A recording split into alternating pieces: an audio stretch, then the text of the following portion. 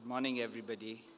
Uh, I know it's uh, early morning on the second day, and this is probably the not the best session for everybody to, you know, to be speaking with because I guess you're all trooping in for what looks like an exciting day.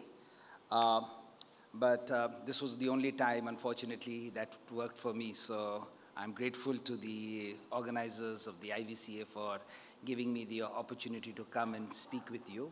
And um, it is both a privilege, uh, uh, you know, and an honor to be here today. Um, particularly for me because, um, you know, I am also a practitioner of this industry. Of course, not um, so much in India, but, uh, uh, but you know, speaking at a forum like this is, uh, is, is, feels like speaking at home. You know, and I wear a couple of other hats and I do a bit of public speaking. I have to go to many places to speak, but you know, it's always good to be, to speak to your own fraternity. Um, ideally, I don't like to give bhashans and lectures because as part of my other job, I do it all the time. So in, in another world, I would have liked to make this a dialogue. But uh, given the format of what it is and the time that I have, they suggested that uh, I, give us, I give a talk. So I'll try and be short. Um, I would like, if time permits, for uh, us to, for you to ask me some questions if you have. Uh, but I tell the organizers that if I run over time, uh, like a true politician, please let me know so I can stop.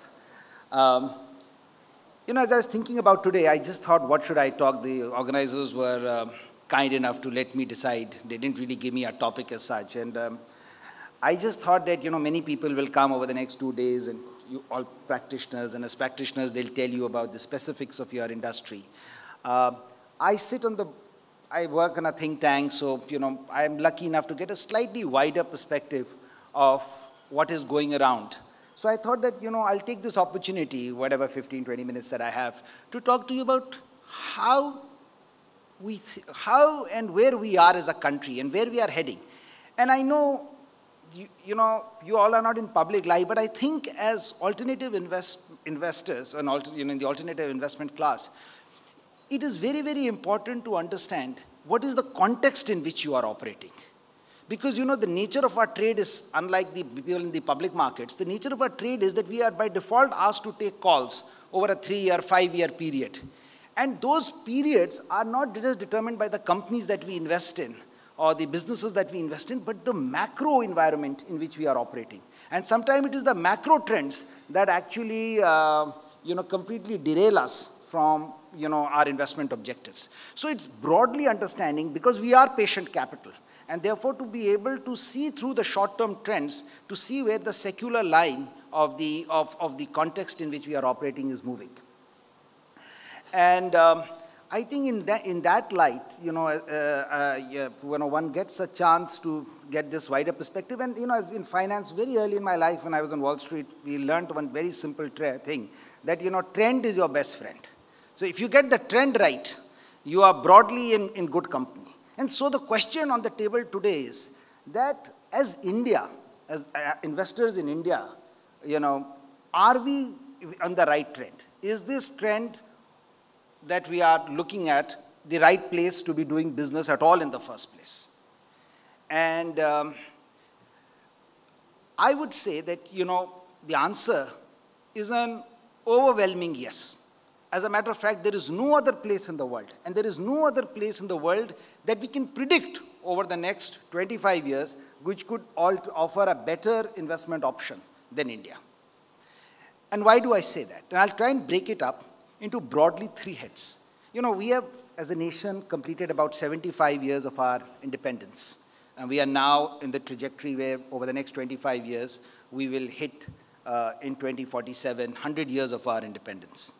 So these 25 years are, you know, the sort of in all, from all practical purposes, the next trajectory of India's, or the next orbital shift in India's, India's uh, journey as a nation. And then if you sit back and look at it from three broad angles, which I will cover, you know, the sort of the social angle, which is how as a country internally we are. Little dwell on the, our global standing, which is our external angle.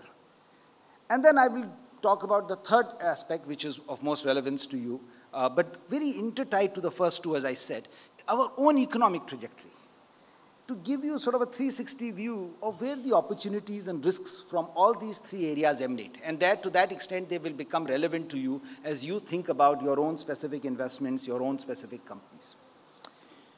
So let's start with the first thing, which is the social angle. You know, social angle of a country or being in a country is like oxygen. On a, on a good day, nobody ever thanks you by saying कि यार इतनी oxygen है हम आराम से we are able to breathe. But if somebody just tries to suffocate you for 30 seconds with a pillow on your head, you actually realize what, is a, what a privilege it is to breathe.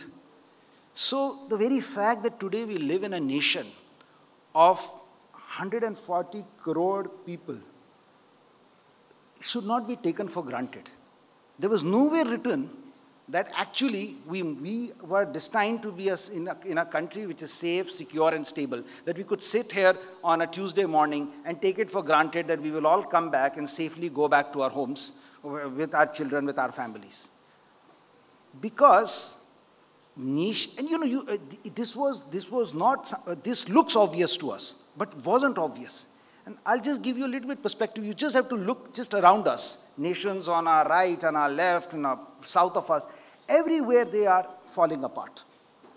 And this is not exactly how the English left us.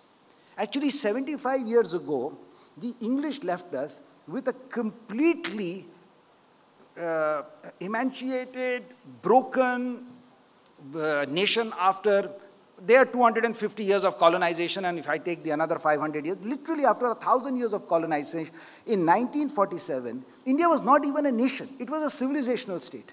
There were 560 principalities that had never been a nation in their history. The sworn enemies of Jodhpur was Jaipur. That was the state. So nobody had a concept of India as a nation.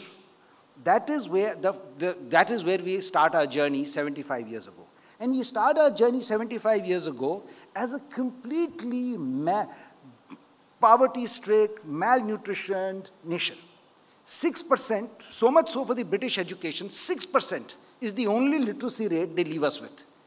And on an average, between 1939 and 1947, a million Indians, 10 lakh Indians die of hunger and disease every year. In 1942, 60 lakh people die in the Bengal famine. So that's, that's your ground zero. Now, from, from there, you start your journey. Over these 75 years, you see countries like small countries, and this was not just our, our experience. Within 40, 10 years of our uh, independence, pretty much all of colonization ended from Africa to Southeast Asia. Now look over the last 75 years. Nation after nation that was colonized was brutally went from, uh, you know, violence to breaking up to uh, civil strife and conflict. Small countries like Sri Lanka could not handle uh, independence and it took them like 30, 40 years of extreme violence. Country like Pakistan split into two nations within 25 years of its existence. Afghanistan, another story. You know, Africa, we know what, a, what, a, what the, the kind of violence and, you know, problems all related to colonization. I mean, you can't go to Africa, even today, to many parts of Africa. So this wasn't for granted that we as a nation would be, would be, would survive. As a matter of fact, in the, in the Churchill used to say, India is as much of a nation as the equator. And there was a book written, and the British were convinced that the sooner, soon, as soon as we leave, this country will split into multiple countries. And even if it doesn't split, it will be constant violence. By and large, in the last 75 years, with some concentrated uh, you know, areas, maybe the northeast and Kashmir, and for some time in Punjab, and even now, we have ensured that A, there is no violence. That today we are a nation as a whole. From Kanyakumari to Kashmir, everybody in this country now uh, you know, lives under a single flag. By and large, we have peace. We have law and order. We, have a, we can look towards a safe and secure future. I mean, you will only do investments if you know that you will be around to see it tomorrow. right? If you just go a few 200 uh, from Bombay, you know, five, a few hundred nautical miles uh, west of yourself, and that is not something you take for granted in a Pakistan of today. They started their journey um, with us.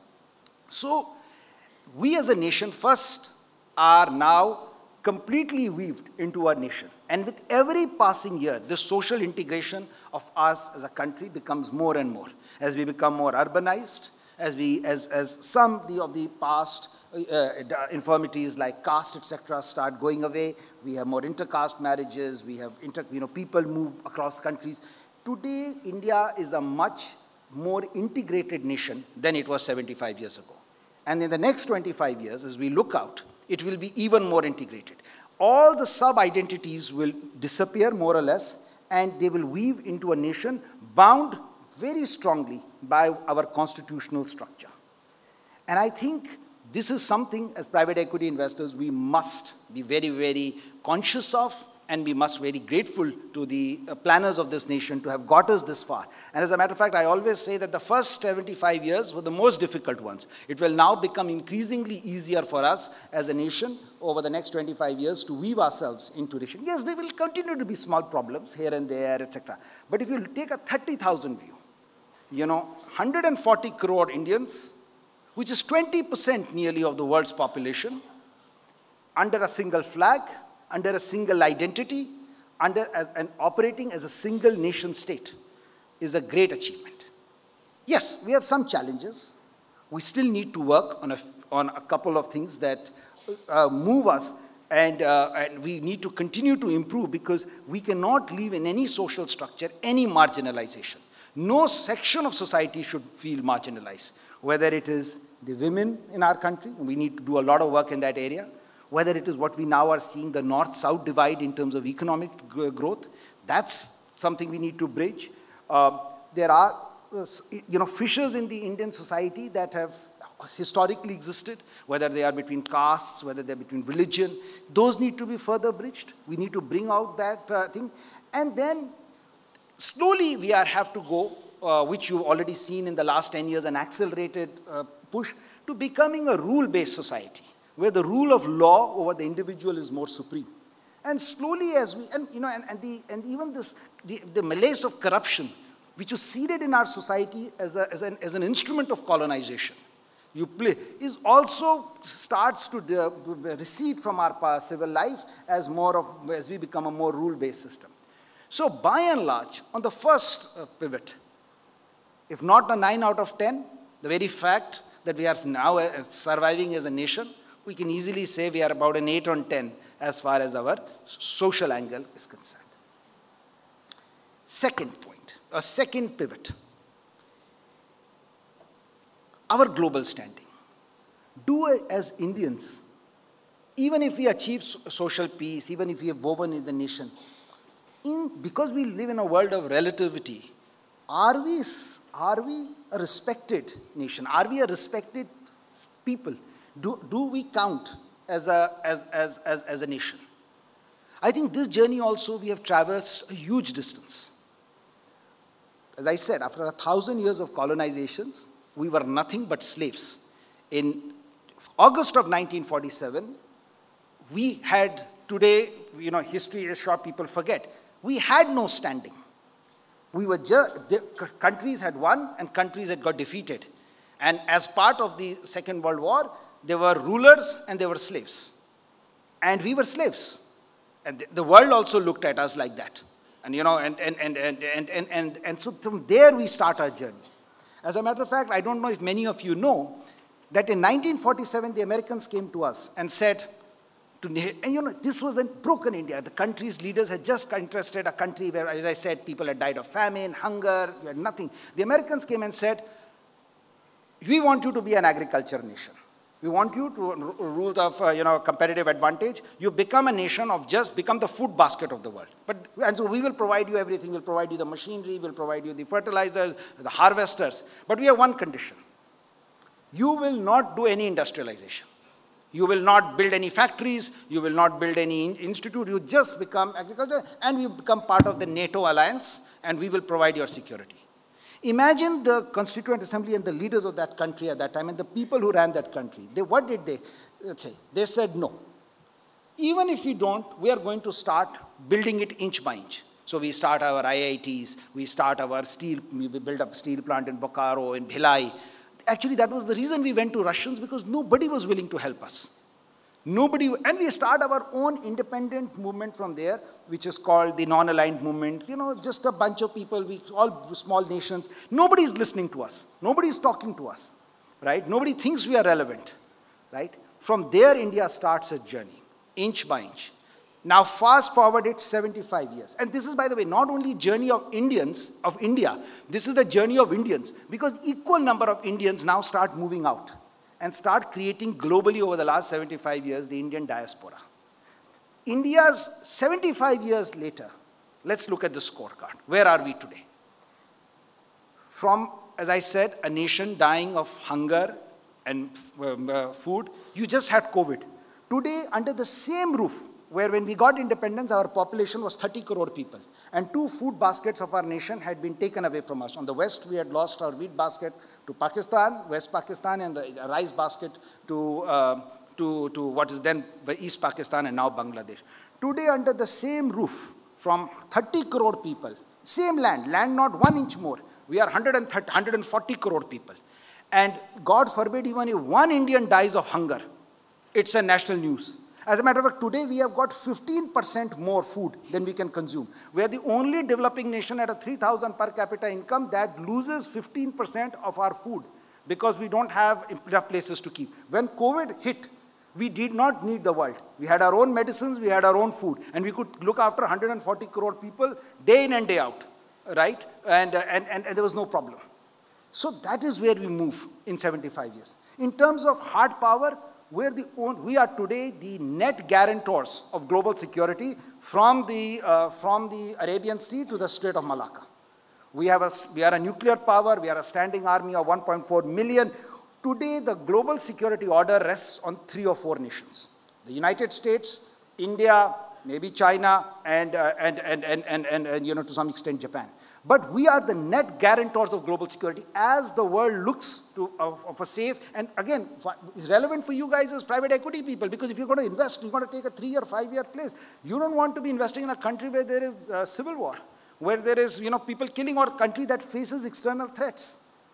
You know, you just look at what is happening to people in Gaza and, and uh, you know, or in Ukraine.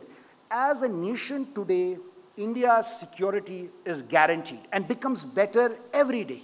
So not only do we have the hard power that the world historically respected, but we also have the soft power. Today, Indian and the Indian diaspora all over the world actually influences and uh, shapes global policies. We have prime ministers, we have presidents, we, we represent significant community in every part of the world, and this is just in a phase of 75 years. So over the next 25 years, this is irrespective of the political regimes, this is just going to increase more and more. We're going to continue to see India's rising. And today, that's already reflected. Right? We are part of the G20. We're part of the G7 for all practical purposes. As a matter of fact, the G7 without us is irrelevant. You know, they, we, they, you know we, it's the same people, when they used to sit, we'd stand outside the door. And they would tell us what to do. If, you know, uh, today, they are here in India asking us, what do you think we should do? And we are setting the agenda. And by the way, and our agenda isn't short. We aren't saying this is good enough. We're saying in 2047, we will be the global Vishwaguru. We will set not only the agenda, we will decide what will be the agenda for the coming time. So for a nation of thousand years of colonization, as I said, which would have been split into multiple pieces, 75 years later, you are on a winning track. You are on a track that over the next 25, if we just continue to do what we are doing, and we, uh, uh, you know, by and large, we will be, we will be there. Yes, as I said, a few risks remains. We have, we live in a very difficult neighborhood. We are by and large controlled. Terrorism is an issue. We had a Western neighbor who we have by and large ensured has degraded capabilities now to be able to cause pain and inconvenience to us. But yes, we have a, have a neighbor in China who will resist our rise of our political class. So to that extent, we, uh, we need to manage our, our, our environment and, and, and we remain conscious that that strife can potentially disrupt our, our trajectory. And then secondly, of course, you know, with any rising power, whether it's money or thing, we have to ensure that this arrogance doesn't get to our heads.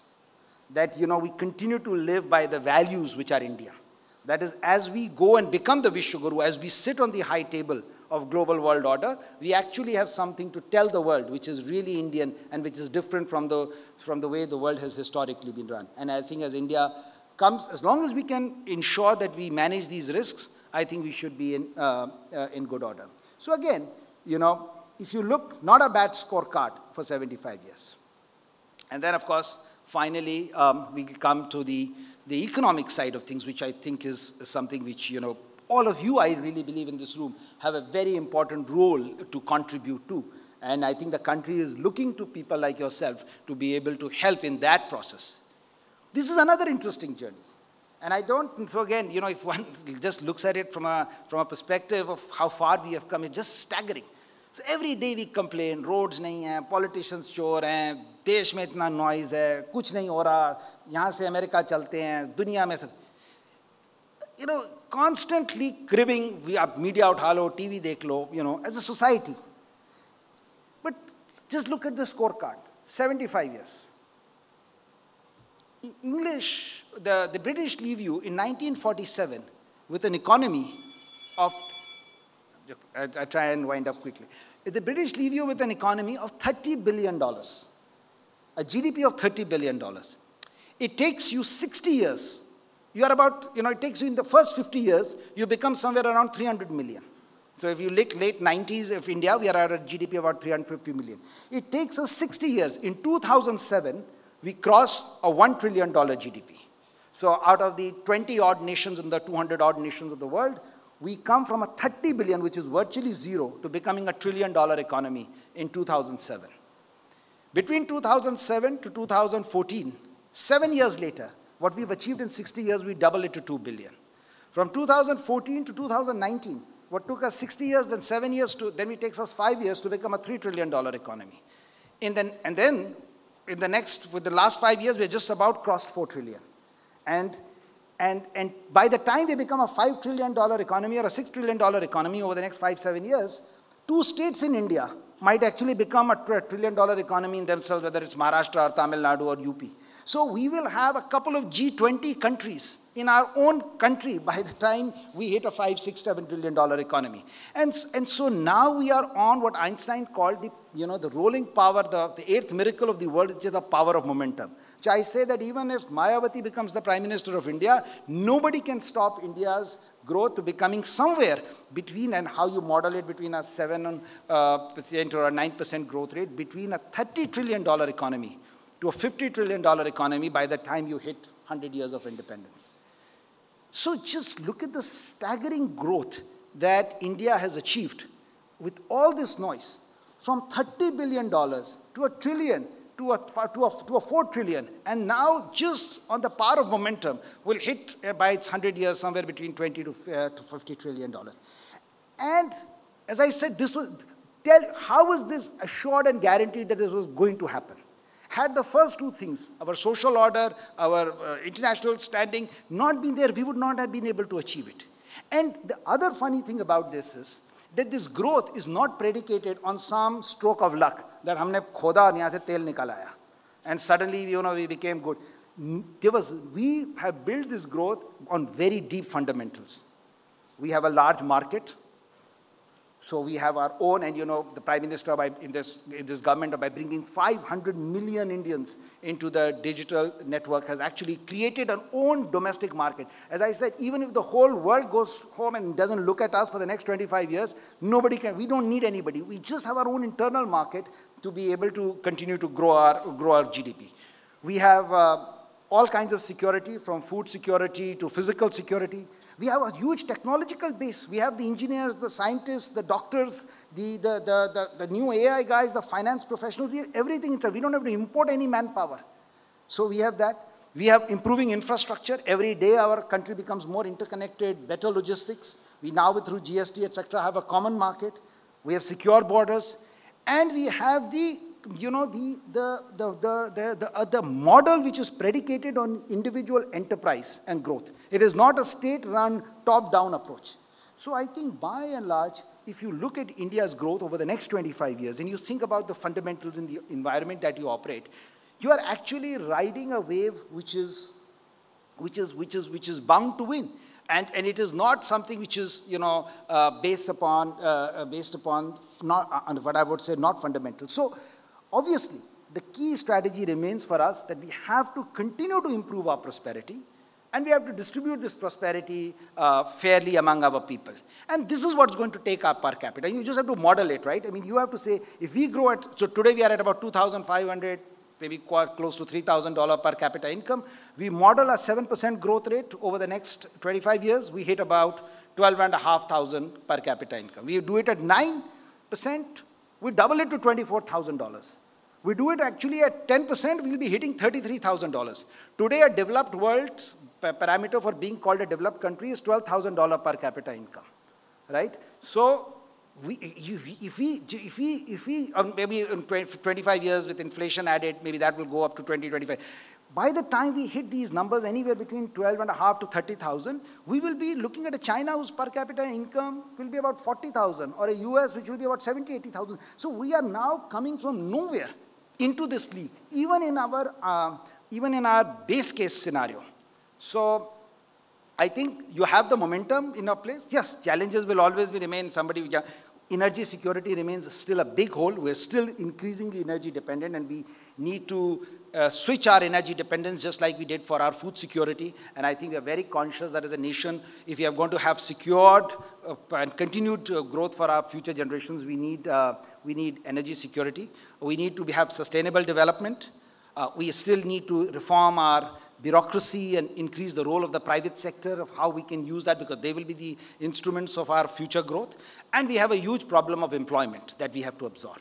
We have about a million people coming into the workforce every month that we have to find ways to absorb. But it's still a very good story. And I'll leave you with one statistic which I was shocked to. You know, we all work in private equity industry. We all complain that India can that it's so difficult to make returns and so difficult. Everybody I talk to gives me the horror stories. But I was surprised when somebody gave me the statistic. If you had invested $1 in Indian stock market in 2000, on dollar, and I'm not talking rupee terms, and in 2024, your money would be 33 times right? So actually all this private equity business, company dhundna karna, even if we had been lazy investors, we would have made 33 times our money on the public markets. And if you, with the same model, if you just correlate our growth of our stock market to our GDP growth rate, and depending upon what uh, you know growth rate you take, if you sit back home and invest your money, over the next 25 years, you will make sometime between 7 times to 17 times right, depending upon where India lands in 2047. So, you know, you even got them. So your hard work really starts from this. As a private equity guys, if we do less than this, you know, we should just pack up and go home because ye to hamara tailwind hai, you know, from that. So I'm just going to, I know I've run over time, so I'm going to quickly conclude. But what I'm effectively like to bring to your uh, notice of this house today is that, you know, short of a few mistakes, India's future for the next 25 years is more or less guaranteed. India is going to be a rich, powerful nation. All of us will be better. Some will be better off more, some will be better off less. But we will all be better off than we were historically ever have been. And from where we came, it was, you know, it was, um, it was, it was, we had never anticipated we'll get this far. And we'll get this far so quickly. But now, and now the beauty, as I said, as with money, we are just going, getting the momentum going for us. So our challenge is let's keep doing what we are doing, but keep doing it better uh, and keep doing it, uh, you know, for, for, for longer. And I think in that particular, I'll leave all of you with it. As I said, as players in the economic uh, industry and scenario, if you can ensure that India can grow at 10%, and particularly in India, which is essentially small and medium-term industries, if the private equity sector can ensure that India can continue to grow at 10%, we have a glorious future ahead of us. And then I think as history gets written, over the next, uh, at the end of 100 years, and you know, we will laud our scientists who got us this far, our agriculturists, our security folks, our administrators, even our politicians. I think somewhere somebody will be able to say as an industry that was the private equity industry that helped transform India from a $3 trillion GDP to a $30 trillion. So with that hope and aspiration, I wish you all the best in this contribution to the nation and wish that you continue to strive in whatever you're doing while you make money, also help make this a better nation. Thank you very much. Jai Hind.